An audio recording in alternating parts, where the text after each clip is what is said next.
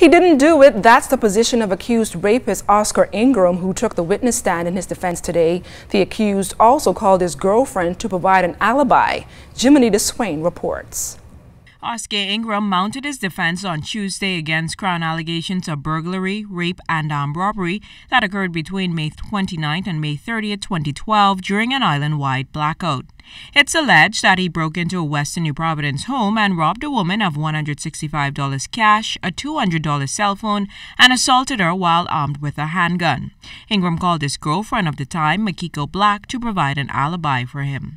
The witness told the court that only one night of the period January 1st to June 2012, they did not sleep together, so she thought it was impossible for him to do what he was accused of doing.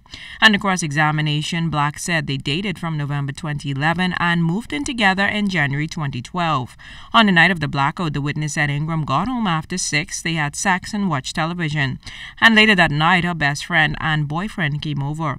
She denied the suggestion that she came to lie for a man. In her words, she had nothing to lose, but she had no reason to lie. Ingram also took the witness stand in his own defense prior to Black testifying. He said the allegation that he entered the home of a female and raped her is not true. He said on June 28 he was with his girlfriend at his cousin's house in South Beach when he said he received calls after his picture flashed across the television screen. He told jurors he dropped his girlfriend to work before turning himself in to police. He said while at the station he underwent an identification parade, but he refused to sign some statements presented to him by officers that led to a slap and him knocking his head while heading to a room he testified. According to Ingram, when he reached that room, that was when, quote, everything really started. End quote. Ingram claimed there was a white body bag on the floor. The officers tripped him, put a bag over his head, and then beat him. The accused told jurors that he refused to sign the statements and told the police they might as well kill him.